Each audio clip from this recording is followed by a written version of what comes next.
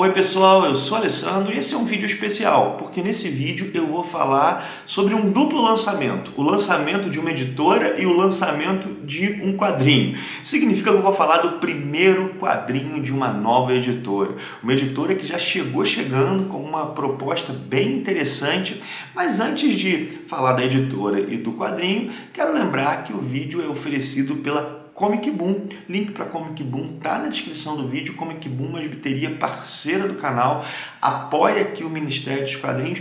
Vale a pena conhecer o trabalho deles. Dá uma olhada lá. Mas vamos agora ao conteúdo próprio do vídeo. Né?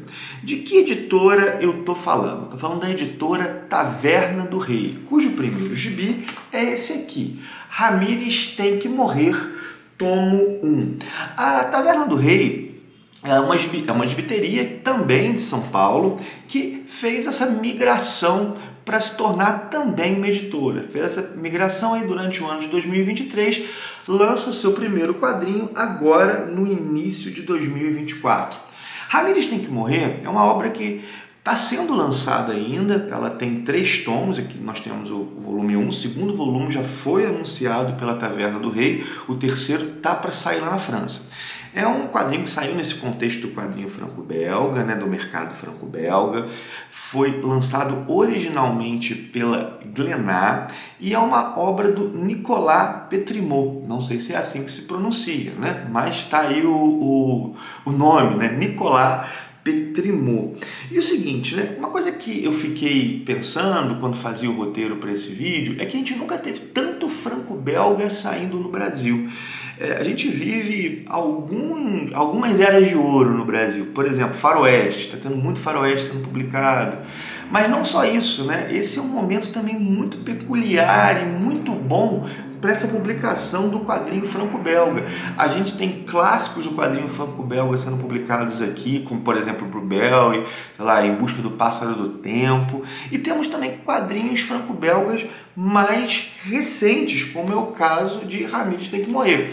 A Taverna do Rei ela já divulgou alguns dos lançamentos dela para 2024 e mais para frente eu vou falar nisso aqui no canal, mas tem mais franco-belga lá, né? Mas vamos lá, como eu estava dizendo, primeiro volume de três, terceiro tá para sair lá fora.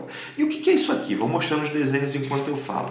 Ramires Tem Que Morrer é uma comédia de ação que tem uma pegada, que tem alguns elementos assim, tipo Quentin Tarantino, sabe? Que poderia facilmente ser adaptado pelo Tarantino, que encontraria correspondências do seu jeito de fazer cinema com esse quadrinho aqui. Tem aquela pitada de nonsense, sabe? De comédia nonsense. E o Ramires do título, ele é quem? Ele é um consertador de aspiradores. Ele é mudo e ele é, um, é o melhor técnico em aspiradores que há. Ele é capaz de consertar um aspirador literalmente de olhos fechados assim.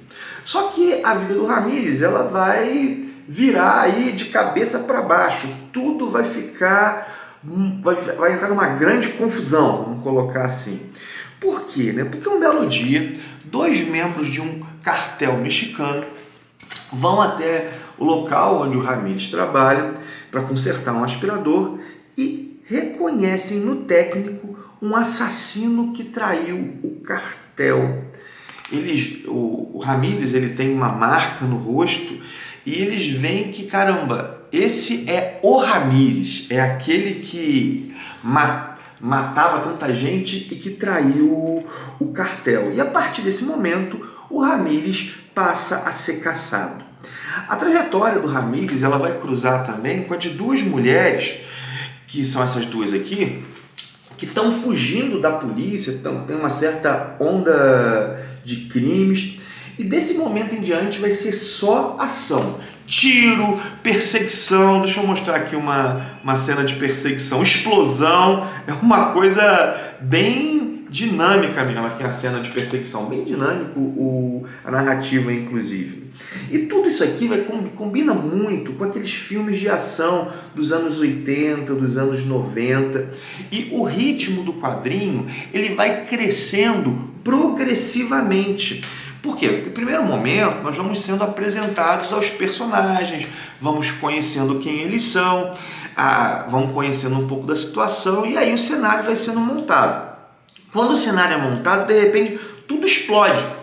Vai ter o Ramires, vai ter o cartel, vai ter a polícia, vai ter a, as duas criminosas e tudo isso, gente, dá um gibi muito divertido muito divertido mesmo. E uma coisa legal que tem no quadrinho são essas propagandas aqui que interrompem a história de vez em quando, são propagandas do estilo daquelas propagandas que nós vimos em revistas dos anos 80, assim. Momentos que esse quadrinho me fez lembrar muito um filme, um filme que fez bastante sucesso, um filme ali do começo dos anos 90 que foi Thelma e Louise. Esse eu tive essa lembrança inicialmente por causa da dupla de mulheres, mas não só, por causa do, do próprio ritmo do quadrinho, também por causa de algumas sequências que o quadrinho tem, principalmente uma que me lembrou bastante o filme. Cara, esse aqui é um quadrinho engraçado, é um quadrinho envolvente é, e tem uma pegada é, que lembra um pouco os gibis tipo da Image, sabe? Ele tem um certo DNA que lembra o quadrinho dos Estados Unidos, mas que é produzido nesse contexto aí do quadrinho franco-belga. É uma obra que se pretende, vamos colocar assim, de certo fôlego, né? Três, três tomos para contar essa, essa loucura que é a vida do Ramires. E uma coisa que eu achei legal, né, que esse quadrinho, ele, eles advertem o quadrinho pelo excesso de bigodes, né? Cara, e a, o, o, rosto dos personagens é muito bom, o desenho do Petrimô é bem legal e principalmente a narrativa.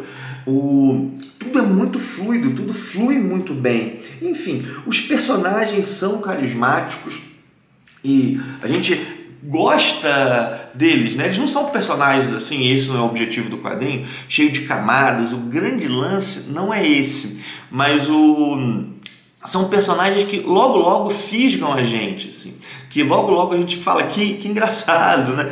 E a interação entre eles promete muito. E o final do primeiro volume tem uma certa revelação que vai ser fundamental para o segundo, que como eu disse já foi anunciado e eu torço para que venha logo. Enfim, tá aí o meu olhar sobre Ramires tem que morrer do Nicolas Petrimot Saiu originalmente pela Lenar e é o primeiro quadrinho da editora Taverna do Rei que começa muito bem. Bom, espero que logo logo a gente veja outros lançamentos deles aí e a, e a sequência, claro, do Ramires Tem Que Morrer.